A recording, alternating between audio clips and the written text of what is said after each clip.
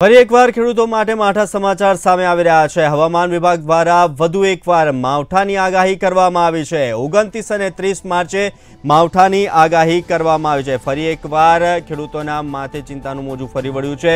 ઓગણત્રીસ માર્ચે દ્વારકા તેમજ જામનગર અને કચ્છમાં પણ વરસાદ વરસી શકે છે જ્યારે ત્રીસ માર્ચે બનાસકાંઠા અને સાબરકાંઠામાં પણ વરસાદ વરસી શકે છે. ત્રીસ માર્ચે પોરબંદર, અમરેલી, જૂનાગઢમાં પણ કમોસમી વરસાદની આગાહી કરવામાં આવી છે. બે દિવસ તાપમાનમાં વધારો પણ થઈ શકે છે. હાલ મહત્વપૂર્ણ સમાચાર હવામાન વિભાગ દ્વારા સામે આવી રહ્યા છે.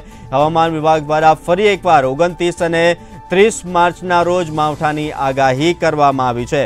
અને આ સમાચારને લઈને હાલ ખેડૂતોમાં ચિંતાનું મોજું ફરી વળ્યું છે.